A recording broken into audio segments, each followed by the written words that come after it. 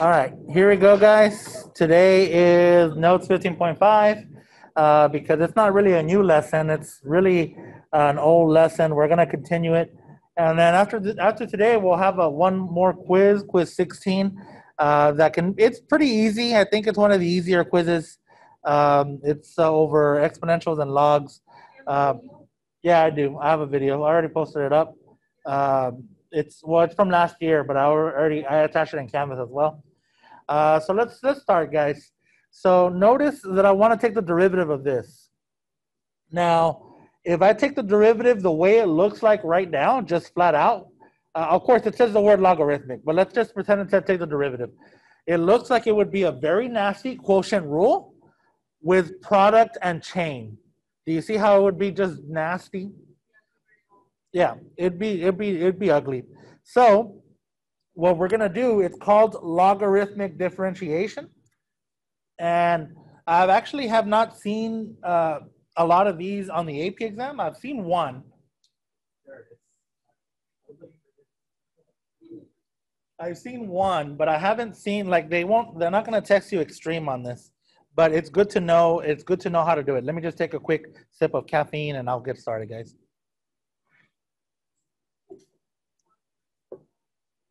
Huh? Oh, because of the humidity. Um, sorry, miss. All right, so here we go. Uh, anytime you have this issue here, so we're going to take the derivative.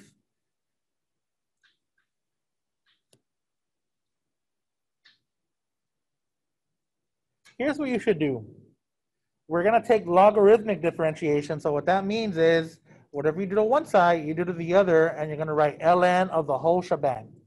Now, a side note, just in case you forgot, if I have ln of AB over C, that's the same thing as saying ln A plus ln B minus ln C.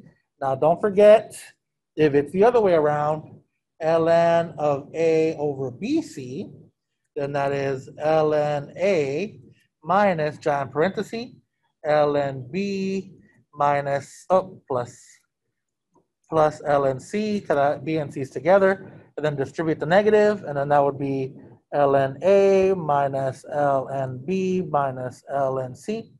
And that you know from algebra 2 slash pre-calc. They're just properties. Well, hopefully from a previous math course. So here we go. Now that I know that, I'm going to write ln y equals, and now notice this x to the 3 fourths is like a, that square root of x squared plus 1 is like b, and that 3x squared plus 2 is like c. So I can write ln of x to the 3 fourths, and you don't necessarily need to put a parenthesis. You can just say x to the 3 fourths together because it's understood, but I like to put them so we can show ln a square root of x squared plus 1 minus ln of 3x squared plus 2. And if you want to put a double parenthesis like that, to showcase. All right, so now what, what I'm gonna. Oh, yeah, you're right. I almost made a mistake there. 3x plus 2. And it would not have been correct. All right, so before I take a derivative, guys, I mean, you can already take a derivative now, but I like to work with the simplest possible form. So you see these exponents, this has an exponent, you just don't see it.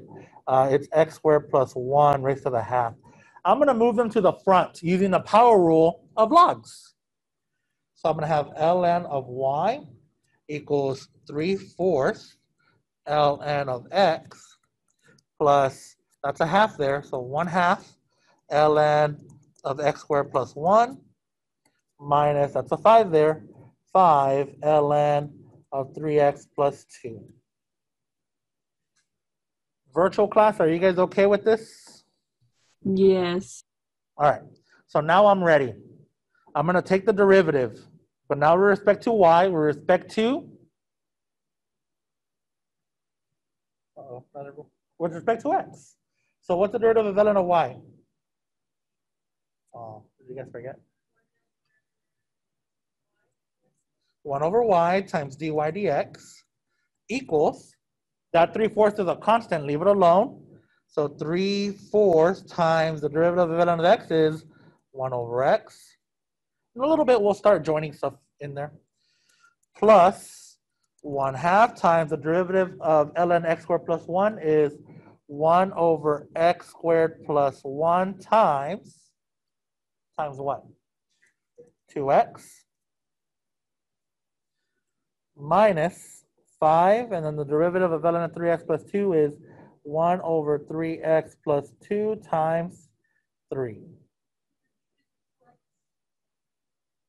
What? I'll wait, I'll wait for everyone to catch up. Is everyone okay so far, guys? Everyone okay so far? Wait, Charles. What's up? How do you know that you have to take the derivative with respect to x? Oh, because we're just doing differentiation. Anytime you take a derivative, if it's just an equation and it has x in it, x's in it, you're gonna take it with respect to x all the time. Now, in this case, we have a y, but that's simple. We, we're gonna, the derivative of y is just dy dx. We're always taking derivatives with respect to x. Always, always, always. Unless, unless there's a t or it's a related rate. Okay. Uh, so now, now what I'm gonna do, I'm gonna fix it a little better. So let's see, one over y equal, oh, well, the dy dx is still there, guys. It hasn't gone anywhere. dy dx equals, let's see, three over four x plus a half and the two cancel out. X over x squared plus one. Don't, don't, uh, don't cancel anything there. Uh, minus, and then five times three is 15. So 15 over 3x plus 2. All right, I'm going to get rid of that y there. So times y times y. So we are almost done. dy dx equals y times all of this.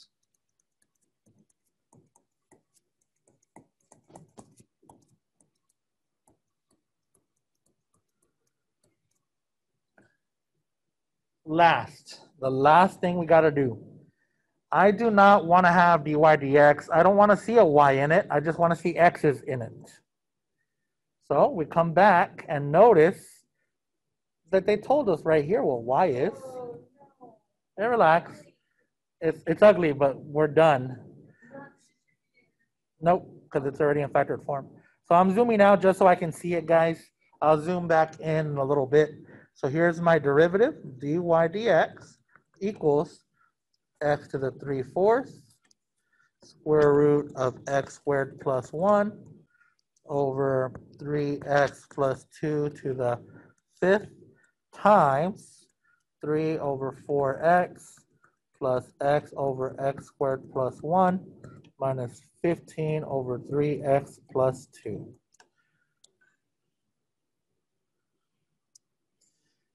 And there is a question like that on UH. And that's exactly what you're going to do. Delta Math doesn't actually even have these questions. At least I haven't seen it. If I see it, I'll put it in there, but I haven't seen them. And there it is. It's it's uh, that's about as hard as it gets, guys. And probably we should have started with the easier one first, which is this one here. Um, so my bad. Next time I'll remember. You know what? Let me put it in here for future notes. switch example one and two. All right, I've seen something similar to this question on the AP exam. y equals x to the power x. Notice it's a lot simpler. There is no definition for this. This is like you have a variable x in the bottom raised to an exponent x. Uh, so there is no like form, or I guess maybe if you look on the internet, maybe you'll find a formula for this. Uh, but we got to do it with, we, we've got to take a derivative and you can't bring that x down and you can't use your log rules or ln rules or exponential rules because you have a variable raised to a variable. So you're going to have to do logarithmic differentiation. So again, what did I do? Let's see. I brought that x down and I did that by putting ln on both sides. It's ln of all this. And then I do ln of all that. So then it turns to ln y, and you don't really need a parenthesis there. equals x ln of x, and you don't need to put the parenthesis there, it's understood, but that's fine. I like to put parentheses so it's better. And now I'm ready to take a derivative. So what's the derivative of ln y?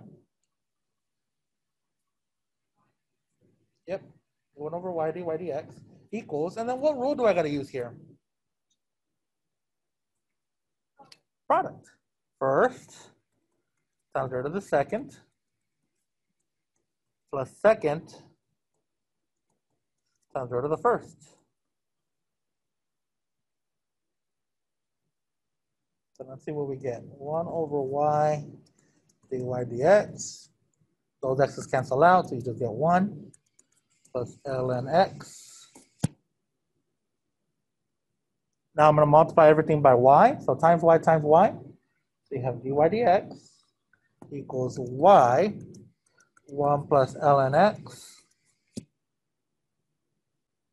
And again, you don't want to see a y in there. So here we go. y is equal to x to the power x. So I come back in here. And I write dy dx equals x to the power x, 1 plus ln x. And maybe we should have done that one first, but my bad. Sorry, guys. Next year I'll switch it. My next year won't matter, right? But the BC students will still be here, but you guys won't. So the BC students will remember that uh, I'm going to switch those two up. All right. So then I put a little task here. I put, I think we're ready for UH quiz 16.